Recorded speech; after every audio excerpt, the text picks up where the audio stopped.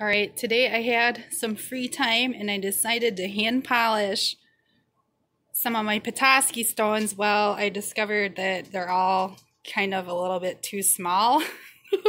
so I settled on, and I'm glad I did, my specimen of Cladophora, which is a very, very old fossil that is actually comprised of one of the first green algae ever known on planet Earth. I found it in South Milwaukee, Wisconsin a couple weeks ago on my way over to Michigan. It was at my uh, little side stop beach that I had in a previous video. Um, these are the stages of grit for wet dry sandpaper I'm using. I started with the 220. I went to 400, 500. I'm at the 1000 right now. And then the 1200 grit is like the ultimate finishing grit for the sandpaper that I'm going to use. And I also have um, some polishing rock tumbling powder, like the finishing stuff that I'm going to use at the very end, and I'll show that. So I just want to let you know. And this stuff, I actually got it at Harbor Freight. Very reasonably priced, and it works outstandingly well. So you're ever looking to do this kind of thing on your own, highly recommend it. All right, this is so far. I finally came to the 1000 grit stage and I don't know, I've been at this about an hour. You want to keep the rock wet. And the sandpaper as wet as you can as well because what I'm doing right here, if I wasn't doing this under wet conditions and rinsing the rock, um, I'd be creating silica dust, which is deadly, can cause lung cancer. Um, the base rock of this is chert, so when it's cut, the microcrystalline features of the quartz that's in the chert will become actually finer than glass shards in the air if it's airborne as a fine dust. So yeah, it kind of makes a mess in the sink, but it's better than breathing this stuff in. Technically, I probably should be wearing an N95, you know, but I feel this is pretty safe conditions what I'm doing here. If you have kids, definitely put on some masks or something if you have them around. So, all right, I'm going to do this for a little while.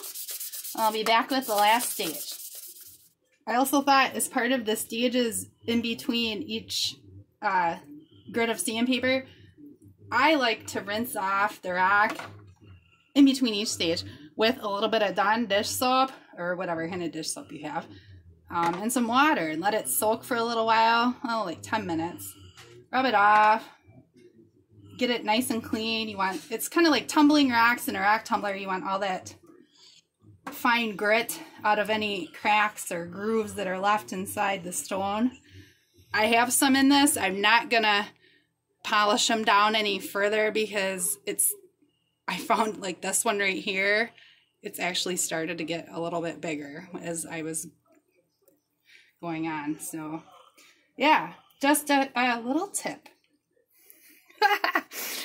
oh, this stuff reminds me of, you know, an illegal substance. I'm sorry, I can't help but say that. Um, this is the final stage. This is what I use in my rock tumbler. Obviously, the final polish um, step, and then I will be taking my finely sandpapered Cladophora fossil and uh, rubbing it in here. So to spare you the boredom of watching me do that, I'll show you the finished product here shortly. Well, here's my finished product, and look at that puppy shine. I'm happy with it. You know, it, technically, for the results that I got, um, gosh, my hands are dry, from uh, putting things in a rack tumbler for the course of a month, this came out almost as good as um, many of the rocks that I have tumbled. It took me about an hour and a half. Of course, I took breaks, you know. It's Friday. I had to have a couple beers.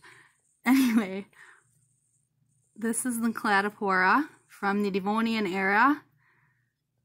Um, that's about all I'm going to say about that. Let it speak for itself. I think if I maybe started over into this again, it probably would destroy the uh, the rack. As I went from stage to stage in the grit of sandpaper, um, some of these pits, as you can see right there, they got bigger. Uh, that is actually a crack, an infusion of quartz rather, not a crack. So I'm going to leave it be. It's pretty and perfect in my eyes. And it, you know, I've accentuated the features of it. So that's good enough for me. All right. I hope you guys enjoyed the watching this. I know it's been a little while since I've been out and, you know, rock hunting and looking for glass and stuff, but our lake, my lake shore up here is getting about mm, four inches of lake effect snow tonight, and I I look up NOAA's um, NOAA National Oceanic and Atmospheric Associations uh, reports, and the ice has actually uh, gone. It's frozen all the way from the shoreline where I go all the way out to about quarter to half mile on the shores all the way down south, almost to Milwaukee. So I think it's going to be a while since I get out there. That's my whole point. all right. Everybody have a great weekend. Thanks for watching. Okay, bye.